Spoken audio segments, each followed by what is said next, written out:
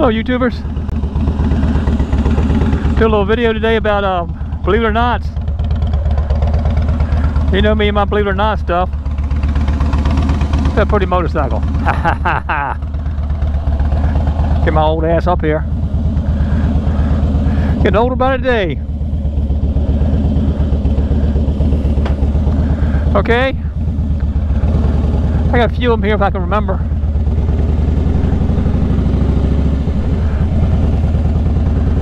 First one's going to be is about the uh, biggest motorcycle ever made.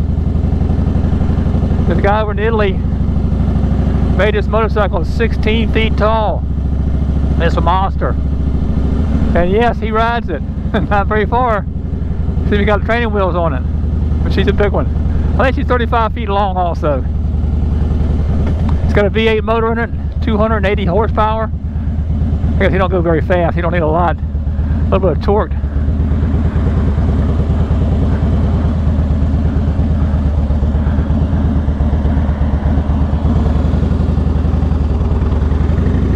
All right.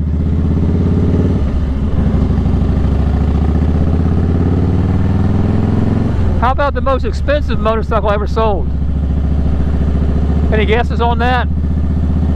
This was kind of strange when I looked it up. It's Easy Rider motorcycle. The one that uh, Peter Fonda rode in the, in the movie. I thought they had, uh, somebody had stole them. I know they blew one up at the end of the uh, movie. I thought somebody had stole it, but they said they had about four. So, the one that's still going sold for $1.35 million at auction. That's expensive. Some guy pay, some guy had plenty of money to pay, pay that much for that bike. There's a lot of reproductions out there. But to have the one he, uh, Peter Fonda actually rode in the, uh, the movie, that's why it makes it so valuable. The old Panhead, I don't know what year it was. This is a Panhead motorcycle with uh, it's a wide glide front end, braked out, and it got dog bones on the handlebars, risers, if you know what that is. Of course, that famous paint job. Okay, that's uh, two of them. I got two more to go if I can uh, remember. Okay, this this woman was doing a some kind of test, a world a record or something like that, trying to go to, uh, speed. And this is the fastest crash they've ever recorded for a woman.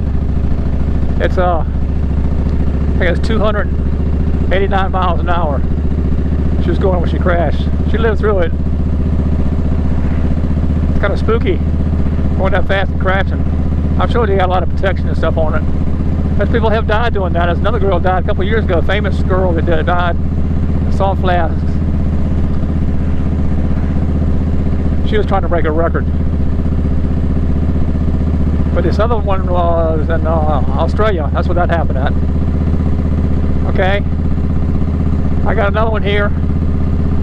Hope I don't repeat myself. I had four down in my mind to talk about. Let's see if I get this. Okay, the longest jump. This guy held the world record of the longest jump off a ramp. Uh, 343, no, 351 feet. And uh, he did it three times that night. He kept, he kept going farther and farther.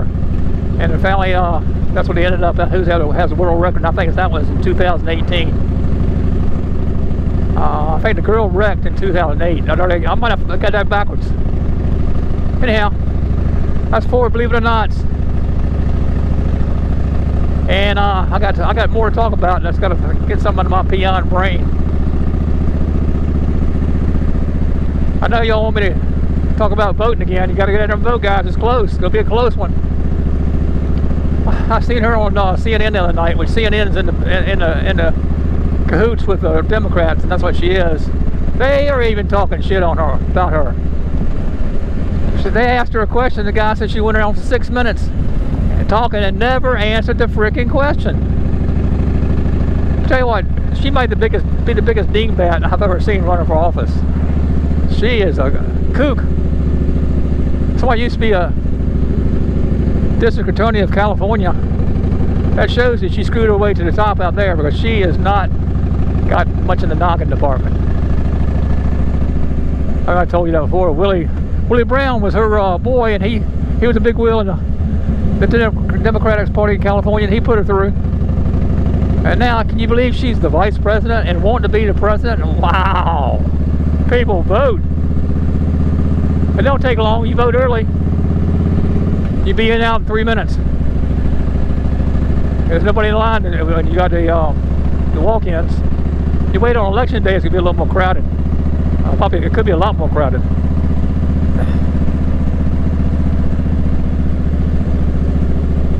But anyhow, I ran across a. Uh, well, actually, I've seen it on there for sale for about a year now. It's a uh, street glide with a sidecar, and it's painted the same color, two-tone, black and gray. Looks real good. He put a lot of he his father put a lot of money into it, and he's only put like 20 miles on it since he since he uh, had them put the thing together, put the sidecar. He said it shipped the uh, motorcycle to uh, sidecar place, and they set everything up because you don't set a sidecar up right, it's not gonna it's not gonna track right, it's not gonna drive good. So they put uh, probably something to do with the forks. I mean the uh, triple trees and uh, that kind of thing to make it rake right. And it's got some kind of adjustable. The sidecar is adjustable for some weird reason on, uh, on hills or something like that. Anyhow, the guy's got twenty thousand dollars alone in the sidecar, just the sidecar. Oh, it's also got a. Um, it's got a mechanical brake not brake, I'm sorry, it's got a mechanical uh, uh, reverse.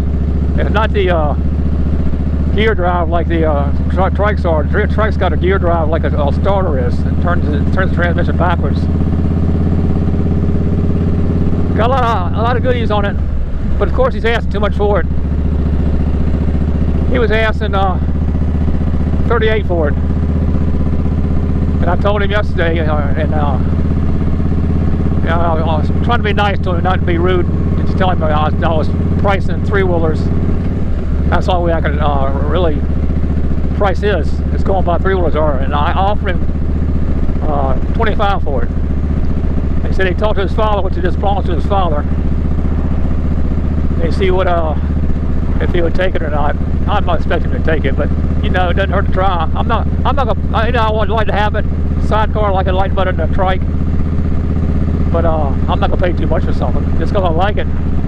Well, what happens? I want to sell it next week, next month, or something. You uh, you lose your butt. That's what I've always done. You go buy something, put in your mind, you might have to sell it soon. So make sure you pay for it what you can sell it for. Appreciate y'all stopping by. If you haven't subscribed my channel before, I appreciate you do. Hit that bell. It'll let you know when I got something else come up. Uh, if you like this, hit the thumbs up too. I appreciate it. Help me out with uh, YouTube. All right, folks. Stop talking now.